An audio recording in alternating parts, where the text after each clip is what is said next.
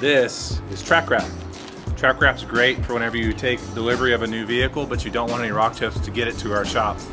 Uh, you can come see us if you need some of this product, but it's designed to, uh, to just be put on the car and just be torn off super easy. Just comes off like that. Very, very easy product. Uh, really good to keep rock chips so we get a new bumper to put PPF on.